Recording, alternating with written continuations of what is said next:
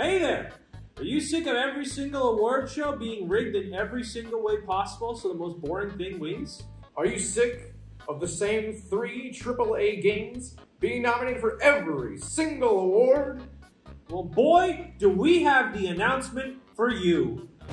Introducing the DCM Video Game Award Show. Because we had to do what's right because we have the right opinion. Exactly. We know we have a, a video game talk show, as you may know. You you all know that we are correct every single time. And we think that some of these game studios need to earn an award. Specifically, the DCME Award.